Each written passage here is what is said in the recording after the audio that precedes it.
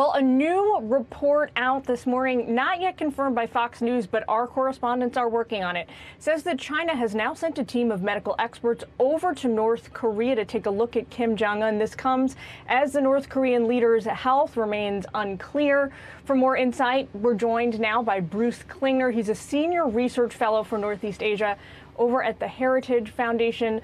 Uh, Bruce, thanks for joining us. Thanks. We're seeing everything now bubbling up in terms of foreign reporting from Kim Jong un is totally fine, recovered well from his surgery in mid April, to he's actually in a vegetative state now, verging on death. Based on what is known publicly and based on what you know about the regime, what's your best guess as to where he actually is? Well, quite simply, we don't don't know. As you point out, we've had rumors, uh, everything from he's dead, he's brain dead. Uh, then U.S. intelligence saying that uh, he was seen walking around the port city of Wonsan several days ago, and that he may have evacuated himself to the uh, Wonsan simply to avoid being uh, uh, infected by COVID. Uh, the Chinese medical team may be there to deal with COVID, or if Kim has COVID, or uh, others around him. So uh, we've had initial reports which were downplayed by U.S., South Korean, and Chinese officials, but then we've seen this recent spate of humor, rumors, and we really don't know what's going on there. So we do know that he is 30, well, it is believed, estimated that he is 36 years old because the government never confirms his real age. Um, we also know from Western reporting and Western intelligence that he is in bad health. He has respiratory problems, heart problems. We know he had some kind of cardiac surgery in in April.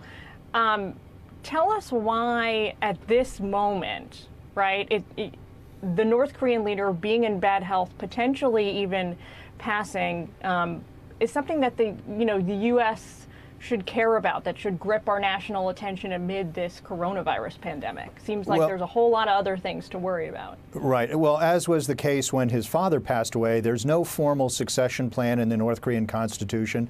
Uh, we don't know if they have something behind the scenes. Uh, so right now, all of us are speculating who the next leader might be. Uh, there's not an obvious choice as when his father died and uh, Kim Jong un had been groomed for about three years and uh, anointed as the next leader. Uh, we're speculating that his sister may be uh, the next leader. Uh, up until a few years ago, everyone would have thought that a strict Confucian Korean culture wouldn't allow a woman leader. Uh, but in the last couple years, she's gained power, she's gained uh, authority, uh, and we've seen her coming out of the shadows really for the, in the last couple years. Uh, there's a uncle that, of Kim Jong Un, but he's been really exiled for about three decades in Eastern Europe, serving as ambassador to different countries. Uh, but he recently came back. So there's always concern when you have a nuclear weapons state if you don't know who the next leader is. Uh, it could be a, a, smooth transition, or it could be a power struggle where everyone's trying to grab the, the ring of power, and then who has control of the nuclear weapons and the military. So it will be of great concern if, if Kim uh, dies without some formal succession plan. Are you worried about state collapse? Uh, Fox News spoke uh, to administration officials earlier in the week who said, um, you know, worst case scenario that accompanies a Kim Jong un death is state collapse, and we see huge numbers of people starving, mm-hmm. facing starvation. We see North Koreans um, fleeing North Korea, uh, crying across the um, Chinese border, creating a refugee crisis.